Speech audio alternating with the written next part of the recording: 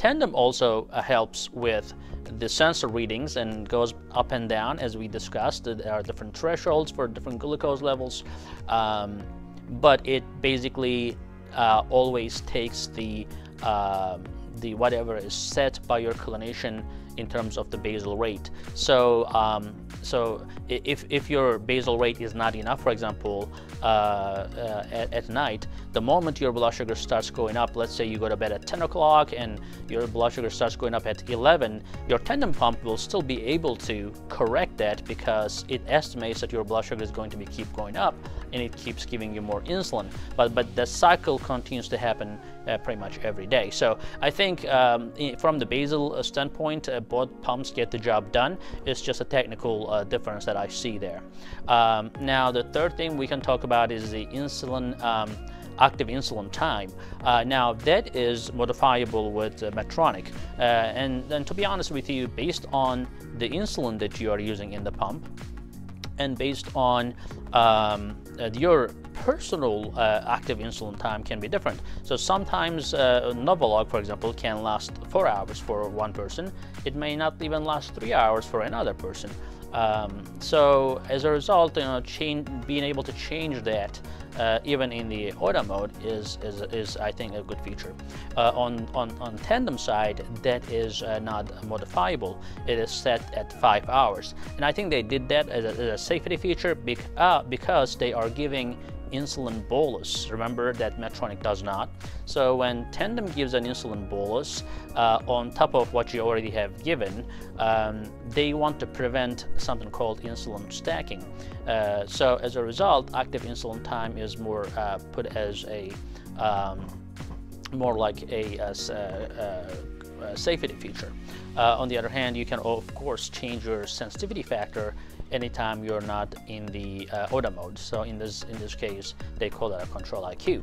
Uh, so there's some confusion between um, you know the terminology they use, uh, but the bottom line they mean the same thing. They're all called closed loop systems. Uh, sensor talks to your pump, uh, bottom line. So Medtronic calls that 670G, um, uh, closed hybrid loop system, uh, and the Tandem calls that a control IQ. So uh, what else we have? So um, in terms of modifiable factors, we talked about the sensitivity factor. We talked about uh, so the the other thing that we uh, uh we mentioned in the beginning uh, that your your set blood sugar is 120 versus eh, versus it changes in tandem pump. Uh, it has different thresholds like 112 to 160, 160 to 180. Uh, below 112 and below 70, tandem will make different changes based on the incoming data. Uh, so uh, with that, uh, uh, we will also talk about the exercise settings that the Tandem has, uh, as well as sleep settings. So uh, as you know, when you're sleeping, you're more sensitive to insulin, and then when you're exercising, you also are more sensitive to um, um, the insulin. So uh, on the other hand, everybody wants to wake up with a nice blood sugar. So Tandem thought about this and they came up with a, a, sleep profile. And you can auto set that. You don't have to push a button every time you go to sleep. So if you're sleeping from 10 to 6 every day, you can actually uh, put that in your pump as a sleep setting. Uh, so everybody's sleep is different. So, uh, but what the uh, Tandem does here is that it actually reduces your 160 threshold uh, to 120 for the high. Uh, just because when you are sleeping, it's a lot easier to control your blood sugar because you are not really active, which affects your blood sugars, and uh, you are also uh, not eating, which also affects your blood sugar. So it's more of a stable environment. So as a result, keeping your blood sugar uh, right at 120 uh, is easy for both Medtronic and the Tandem. To be honest with you, with any pump or, or a closed loop system, it will be a lot easier when somebody's sleeping. Now, um, Medtronic doesn't have uh, the sleep pattern, uh, but they have it set at 120, which is very similar to tandem pump. So I think there's uh, not much difference there. Um, uh, but uh, you know, having a sleep pattern for tandem can help you wake up with uh, better blood sugars, in my opinion. Um, now, on the other hand, the exercise is important because a lot of people are scared that the blood sugars sometimes go really high, sometimes uh, crash out later uh, after the exercise. Uh, so when you're exercising, basically your tandem pump uh, will allow your blood sugar uh, to be at 120. So instead of um, keeping your uh, normal steady basal rate uh, between 112 and 160 blood sugars, your tandem will actually only start giving you more basal insulin if you go above 140. Again, that is a safety feature because when you're exercising, your body uses glucose, and if you get a lot of insulin, that can definitely cause a low blood sugar.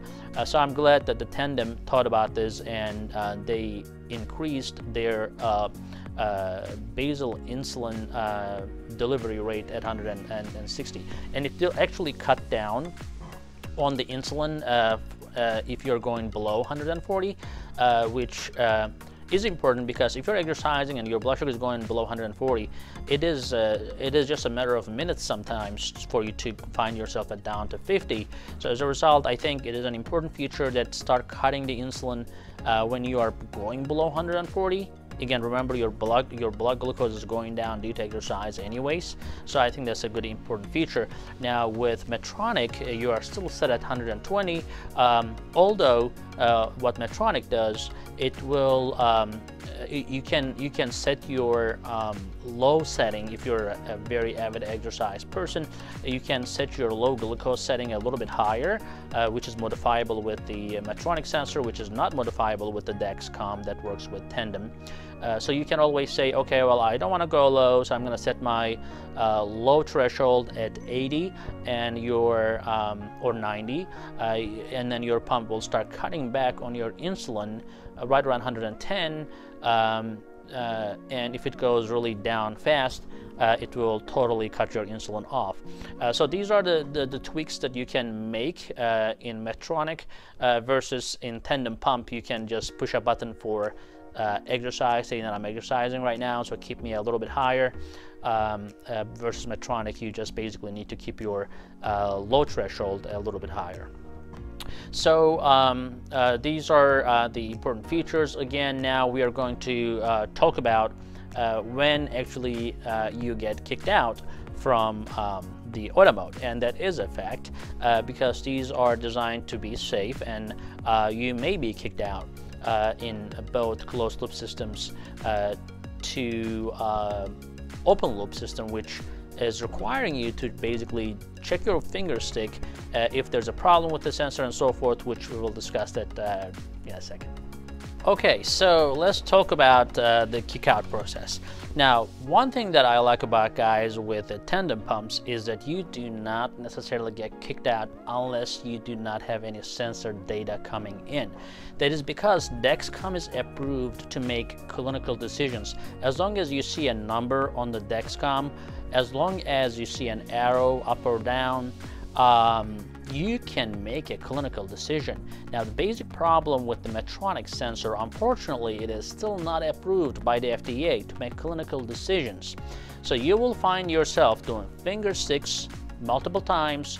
It could be at least two, but if not four or more, you, you may end up doing three, four, five uh, in, uh, uh finger, finger sticks a day in order to be able to stay within uh, the, um, the closed loop system.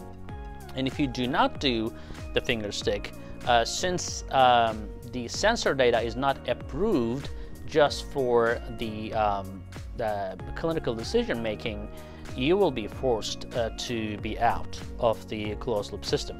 Um, so closed loop system will adjust your basal insulin delivery, but anytime in Medtronic, if the sensor thinks that the sensor is kind of off, uh, you will be asked to enter a blood sugar. If you do not do a finger stick, then you're gonna be out. You're gonna be in a basal, safe basal mode, uh, which gives you, uh, you know, the standard basal rate.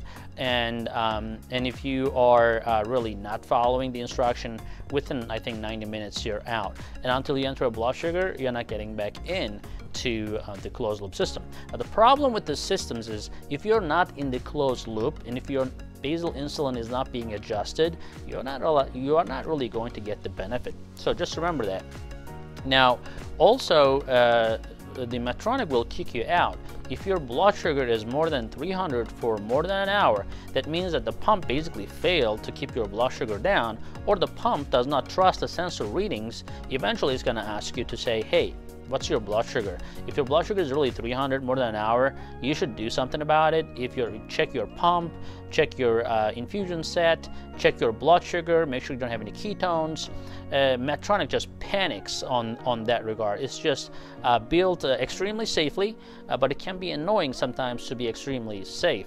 Um, and uh, so the the other feature with the medtronic is that you know if you are more than 250 for a couple hours again i believe that's three hours hours. Uh, again, for the safety, uh, they make sure that you check your ketones, they make sure you check your blood sugar, and if you don't do blood sugar check and enter it, um, you may not be able to get back in. Uh, and if your blood sugars are remaining high, if you're not able to control that with a uh, in infusion set change or, or, a, or a subcutaneous injection of some sort of correction that brings your blood sugar down, then uh, you're not just going to be able to get back in. Um, and if your blood sugars are rapidly changing, uh, that's one time that you don't want to do calibration. So um, if there is more than 35% change between the sensor reading and the blood sugar reading, your pump will not accept that. We'll say this is way too confusing, I'm out, and it's gonna kick you out, and then you're gonna be uh, in the dark. Uh, you, then you have to handle yourself, the pump is, is not helping you. Um, they are doing that for a safety feature, uh, but you really be actively hands-on involved in following what the pump says. And if you're not the type of person who is willing to do finger sticks and blood sugar checks, a Medtronic pump is not going to be the best pump for you, just so you know. Uh, if you're motivated, uh, it, it can be a good pump, uh, but, but if you're not, um, uh, at this point, uh, blood sugar checks are required for you to make a clinical decision. Um, and, uh, and, as a rule of thumb, guys, uh, you always calibrate with any any CGM device. You always calibrate when your blood sugars are stable. Don't try to calibrate after you eat, or don't try to calibrate when you feel like you're low, you're sweating or something, that you have symptoms of low blood sugars. Uh, you don't want to really make calibrations when the blood sugars are rapidly changing in your system.